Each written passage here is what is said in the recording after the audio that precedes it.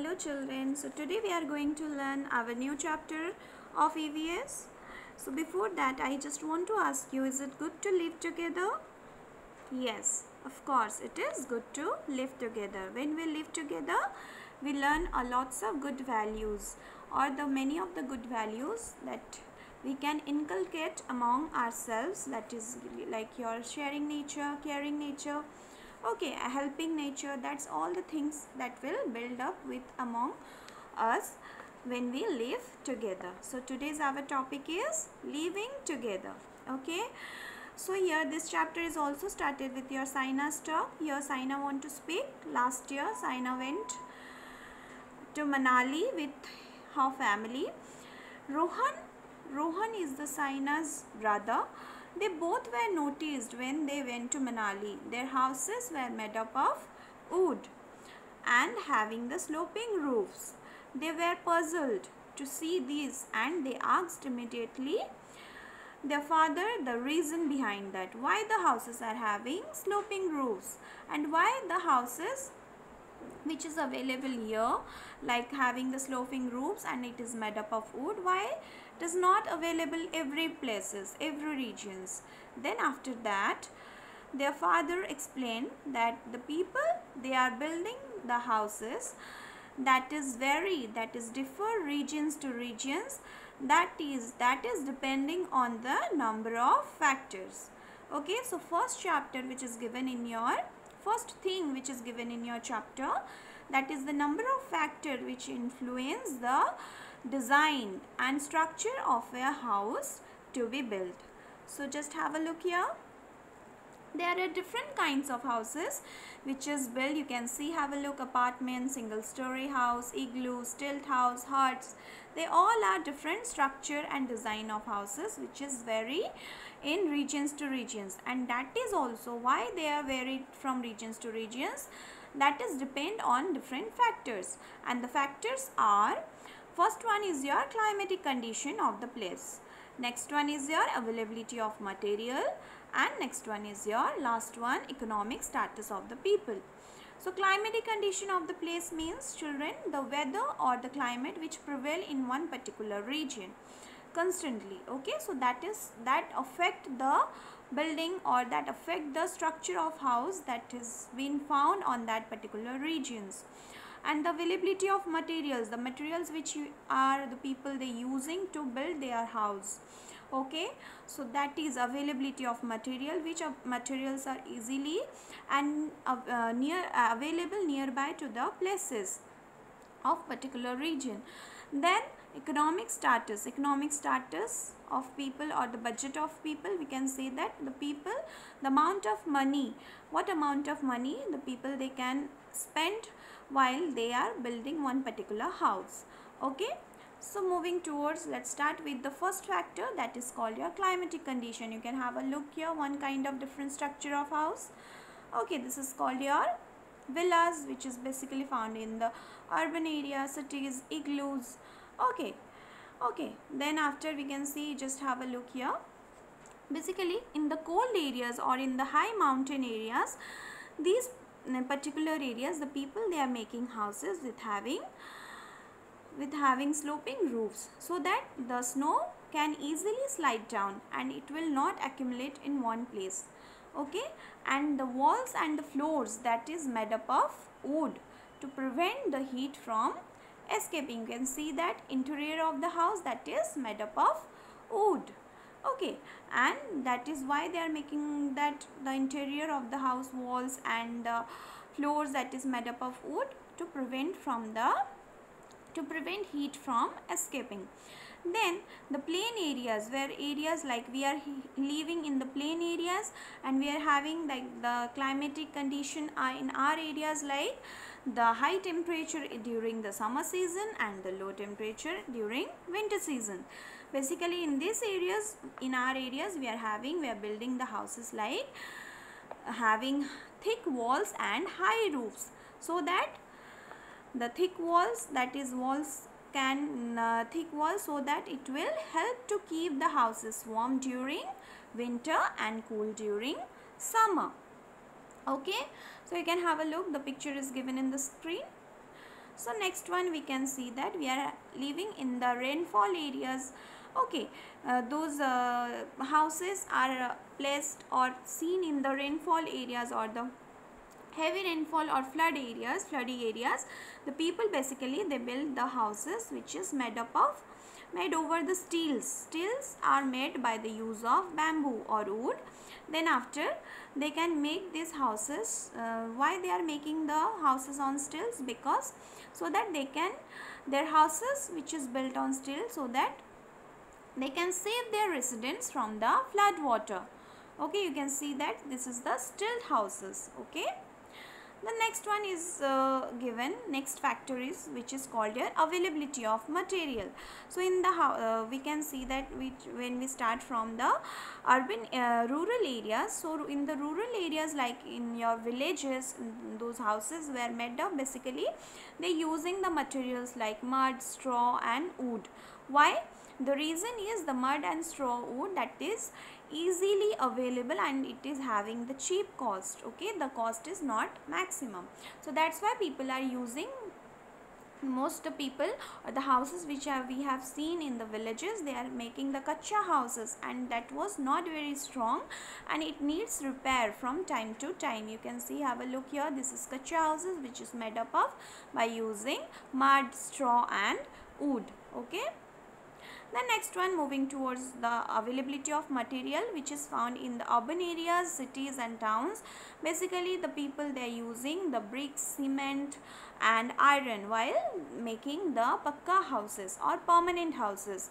And these houses are called very uh, strong and durable long lasting it won't need it won't require the repairment from time to time. You can see have a look here. These are houses which is having found in the urban areas okay? This is the pakka houses and this is your bungalows apartments okay then this is your economic status which is your next or last factor which influence the designs the the houses uh, having the different designs and structure which has to be built in different regions. The economic status like in the towns and cities the people they are basically having the less income so that's why they are making the low cost houses. The people who are having the less income they are making the low cost houses by using the inexpensive materials like your uh, like your uh, they are using asbestos okay plywood plastic tin. Okay and they are making these houses like your slums and chawls okay these all called yours. This is the picture of slums chawls and these houses is made up by using the ply uh, by using the plywood. Okay this is the asbestos house. You can see here. Have a look and this is also see that tin okay and this is plastics they are using. And these all houses we can say those are houses are made up by using this plywood asbestos tins plastics these all houses are called your makeshift houses. Means easy to make and easy to shift any of the any other places okay. These all are these houses are found in the urban areas okay now we can see just the houses which is having which is commonly found in the rural areas okay? So people having people they are having the high income okay? People having the high income high those people who are having earning a high amount of money they are making the big houses like your bungalows. You can see the picture of bungalows. And this is villas using expensive materials tiles marbles okay then in the villages the people they are making the kacha or pakka houses according to their income. What income they are earning or what money they want to spend when they build to their when they build their houses. Basically the havelis. Havelis is your the high cost houses which is found in the villages. Okay? So next one you can see that availability some other factor is also responsible uh, for the um, to the different like we can say that other factor is also possible which influence the type of houses the people built okay?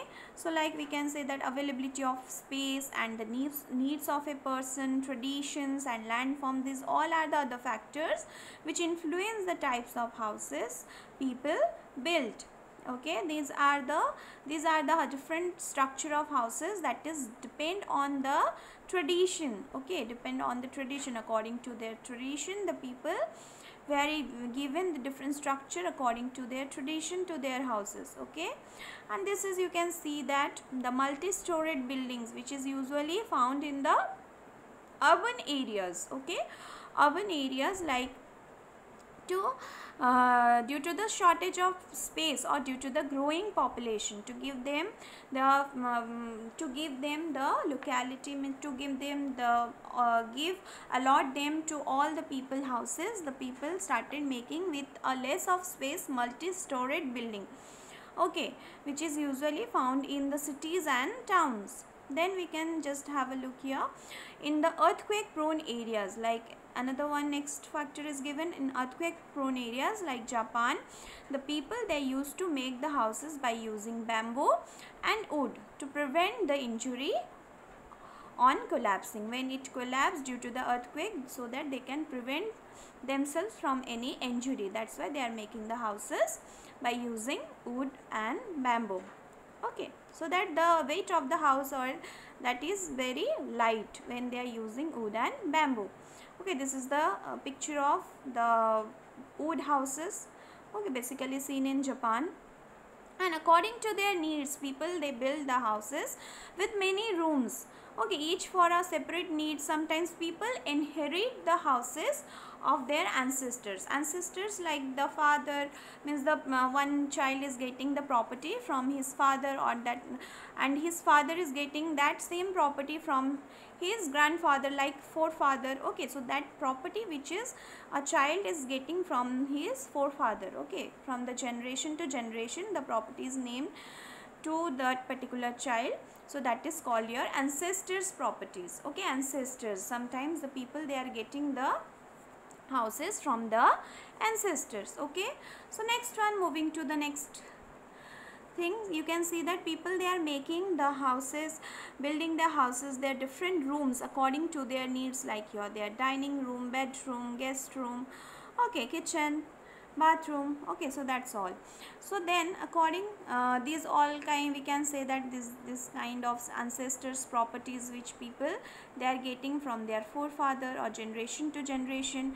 And another one important factor or in the form of fact aunt which is given in your chapter children that is a Rumah Gadang Rumah Gadang are the traditional homes of an ethnic group of Indonesia and these houses are owned by the women of the family.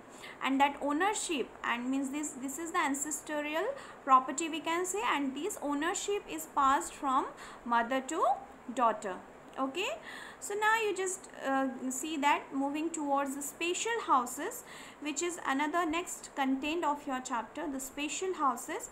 First one is your caravan okay caravan is a house which was which is built on wheels and is towed by a horse or a van okay then next one is your houseboat you can see have a picture which is given showing in the screen houseboat is a which is popularly found in Srinagar and Kerala and it's, it is made up of wood and is float on water. Then the tent house, it is a temporary house and easy to shift. Okay, and uh, mm, it is used to made this house is made up of made of canvas. And it is used by the campers mountaineers okay. This is called your gypsies. Okay. So this is called your mountaineers these campers they are using the tent houses. Then nomads. Okay. Scouts. Okay. These all are the people they are making the tent houses different peoples uh, these all peoples are they used the tent houses okay? Then next content which is given your sharing resources and space. So you know children when you are I have already told you when you are live together with your family member and in one particular inside your colony you have to share different resources and it is very good to stay with uh, stay together with your family and with inside a colony. So if you will uh, you will stay with your inside your colony definitely some other people also staying in that particular colony. So those people are living to uh, nearly to your house they are called your neighbors.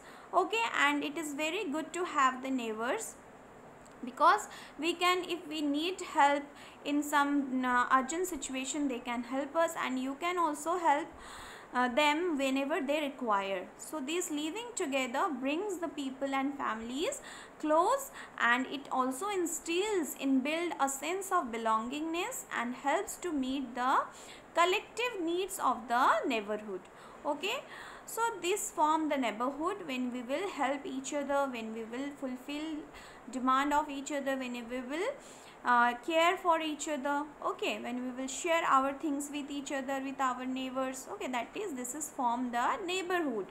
Okay and we have to when we live together we have to definitely share a common resources with each other with our neighbors. Okay inside our colony some of the resources which is commonly available for everyone ah, that is called your public property. Like we can see that the water facilities the electricities okay roads okay then parks then schools okay which is common which is found inside your colony locality then hospitals then shops okay and parking spaces for vehicles which are these all are called your public property okay?